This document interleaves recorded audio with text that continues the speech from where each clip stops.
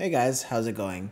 I want to do a quick update on the Razer Blade 4K panel and do a little bit of benchmarks. Um, I've had some more time with it, and I'm talking about the 17 inch. Today was my last day with it, so I wanted to do some last testing before I started comparing it to the GE76 um, because they're both 17 inches and they're both kind of pushing the higher end of the TGP limit. And I want to see if the 175 watts makes a difference against the 165 on the Razer. So in doing so, um, I came across some maybe some things I wanted to kind of mention before I move on. Um, especially in terms of the benchmarks. It I don't know if maybe there were some driver updates or whatever kind of updates, Windows updates, Intel, Nvidia, I'm not sure. But I've noticed that my um, benchmarks have changed. So I wanted to go over those specifically, and I also wanted to talk a little bit more about the display. I'm able to fully analyze the display, and I've I would really like to sh- share that with you. So, but there's just a few things I want to um cover. Like I, I, a lot of people are concerned about the battery. There's been a lot of issues about battery swelling and such. Um, but this year, Razer has a two-year warranty specifically on the battery. So I I mean, I've never had issues. I mean, I've seen enough issues um, where it's definitely it's definitely something to be concerned about. I personally haven't had any issues. Um, but okay, so moving on to the display. There's been some comments about um, asking if it's touch. It's not touch.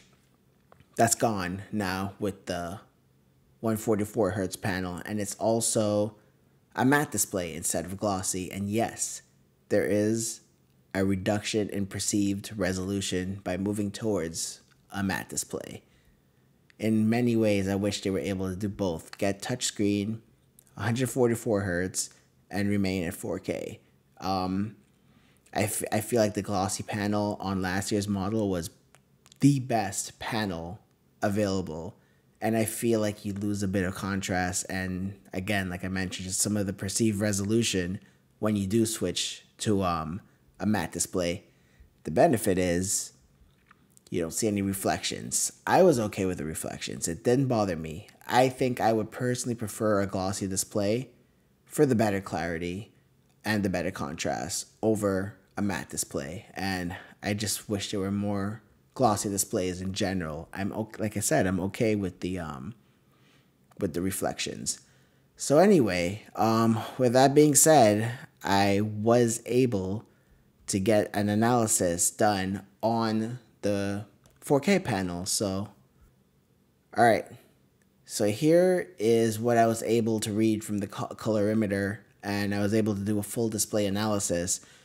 100% of sRGB. I mean, no surprise there, right? 88% of Adobe RGB, which is a bit of a disappointment. Last year was 100% Adobe RGB, so I know if you're a photographer, that could be very important to you. When uh, I mean, uh, when I was editing photos on the 17 inch from last year, it was such a glorious experience. I mean, if you own any one of those displays, like um, I think the the Dell XPS 17 and the 15 non OLED version also has a 100% Adobe RGB it just makes photo editing a joy. But I mean, I, I am I know that's not everyone, so I'm not gonna spend too much time on that. I'll just move on. And we're getting 99% of DCI-P3, which is great more for video makers and also for movie watchers and also for games. So I mean, it's it's an all around good panel. Oh, and 86% of NTSC, that's the next benchmark that displays need to reach. Once they reach that, we're going to see um, a, a, picture quality that we have not seen at all before. I've heard that the QD OLED panels are able to get much closer to that than any other current display out there, even the LG OLED displays. And I did order the Alienware 34 inch QD OLED panel. I mean monitor. I mean I, I ordered it too late. It's not coming in until May, but I can't wait to get that. I'm, I haven't been excited for a piece of tech in a long time. Maybe I'm getting a bit jaded because I get so much of them, but I am really, really pumped for this one. So anyway, with that being said, um, the tone response is good. The gamma uh, measured at 2.2. Um, it's, you know, I mean, Razer does a good job calibrating their displays. And so now let's talk about brightness. Okay, so I measured the brightness and the contrast ratio, and I tested it at five different brightness settings um, from 0% all the way up to 100%. And I just want to start with the lowest setting, the zero percent bright, the the zero percent brightness. I mean, um, I kind of wish this number was a little bit better. It the the minimum brightness is twenty four nits. Um, that's okay. You do want it to be lower if you're, well, if you're using your laptop in bed and you don't want to disturb someone next to you, or if you're just trying to wind down. The brighter it is, the more you're mind thinks it's oh my it's it's it's sunshine time to get up it's so it, it's hard it's hard to use this laptop at nighttime in bed if you're just trying to look at some YouTube before you go to bed or check an email or what, what whatever you do um the minimum brightness is not low enough and I think that's a metric so that's a metric I'm going to really be focusing on because I think it's important it's important to me and I want that to get better and um so moving on down the line the the brightness ramps up and the contrast ratio also ramps up too. And to my surprise, this panel is brighter than I expected.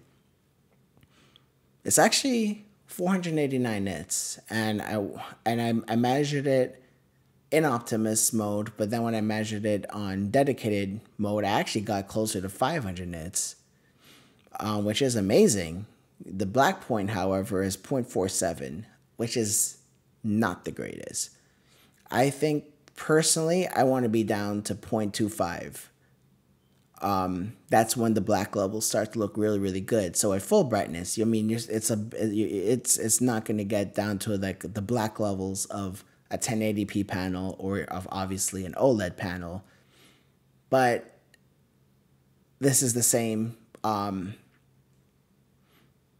black point that that you would have seen last last year. So if you look up any of the review the reviewers who do cover displays in this amount of detail as I will start going forward, you're gonna see very similar results. And the contrast rate what contrast ratio was one thousand to thirty. Typically with 4K panels, you don't get as good as contrast ratio. It's just the way the panels are developed. But I mean, I'm really happy with this especially since you're pushing 144 hertz and you're able to get above a thousand to one contrast ratio. That's that's I, I mean, for the technology, that's a really really good score. Um, so yeah, no, I I think I think I, I think this is this this overall is still the best display on any laptop and. Razer knows that, and that's why I think, and I'm pretty sure that's why they have such a high premium on it. All right, so that's it for that. Um, I want to move on now to the gaming benchmarks. Okay, so on Halo Infinite, I'm testing the multiplayer mode, so I'm playing in low settings and I'm reducing the resolution scaler down to 53%, which is the lowest it could go. I'm doing this because I want to get the max frames. If I'm playing competitive, that's what I want. If you guys do want to see me test the single player, I'm going to crank everything up and I mean, and and uh, to, to high settings and and start testing that way if that's something you want to see. For me, when I'm playing, I mean, I already finished the campaign, so like I'm I'm, I'm only playing um multiplayer at this point. But let me know in the comments. Um, on 1440p, I know it's a 4K panel, but I, I tested everything in 1440p just just so I could kind of get a consistent score, so I could compare it to all the laptops. I got 205 frames per second, and a low of 61 and it's because they power limit the CPU. It I, I wasn't it, it it was pretty much just running at 45 watts for the most part, and it would ramp up occasionally.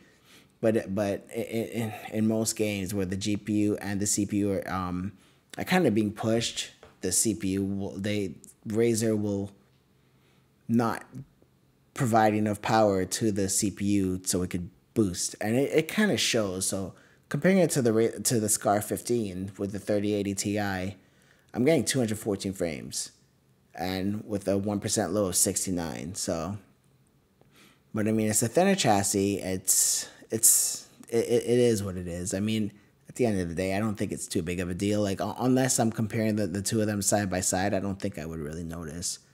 But anyway, so moving on to Shadow the Tomb Raider, and I, I wanted to retest this one specifically because I got different scores from initial from my from my initial benchmark video.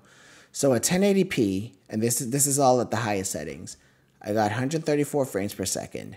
At 1440p, I got 101 frames per second, and at 4K, I got 48.27 frames per second.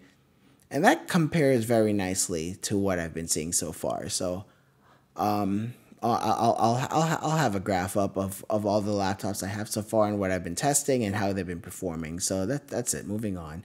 Um, the for Time Spy, I got on the GPU, I got a twelve thousand seven hundred fourteen. On the CPU, I got a 13,378 for the total was 12,899. It's neck and neck with the best of this year so far. I don't, it, this is the first year that Razer is actually able to get their TGP to a high enough level that makes it competitive with some of the big boys out there. So I'm really, really happy about that. I can't wait to see how it does against the GE76.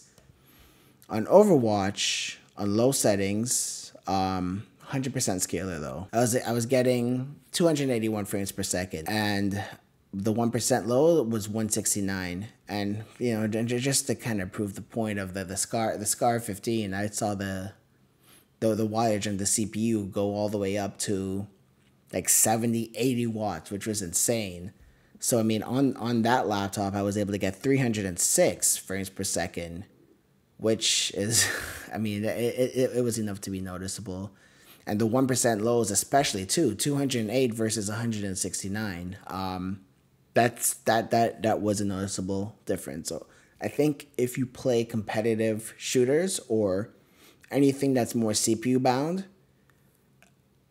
unless you really like the design of the Razer and you value performance more um, on CPU bound games, then I would still say that something like the Scar would be better, and I'm pretty sure that the GE76 will perform better. And by the way, I have the um right this right here is the GE66.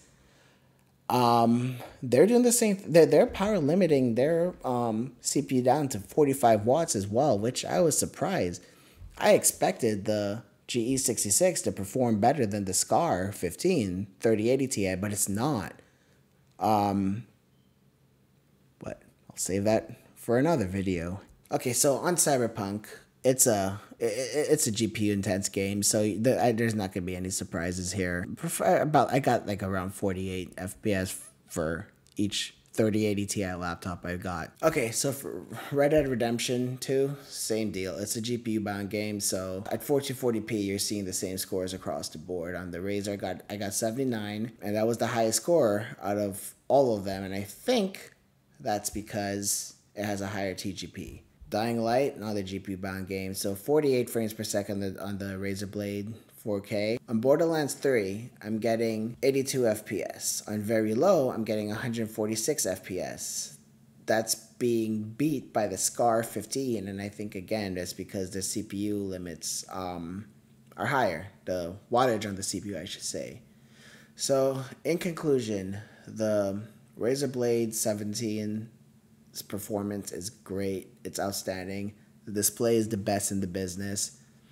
The it's it, it still has the build, the best build quality, and I don't know if if it was something that you're into, if if it was something you're very interested in, unless you're one of the few people who really really really really take um competitive shooters very seriously, and you want the extra edge the capping of the CPU at, at 45 watts, um, I don't think that'll be a big issue for you. And, and on a 4K display, you're never going to be taxing the CPU like that anyway. It's only if you connect this to um, an external monitor. And even if you take the 4K image and you scale it down to 1440p, it still looks good. But then you're still not taxing the CPU as much as you are as if you would go down to 1080p and you do not want to take the 4K panel down to 1080p. It does not look good because of the dithering. It looks worse, significantly worse than if you were to be looking at a 1080p panel. So, I think all the right decisions were made on the Razer Blade. Um, I had to say goodbye to it today, but I have I have too many other things coming in. So, all right, I think that'll do it, guys. Thanks, and I'll see you in the next one.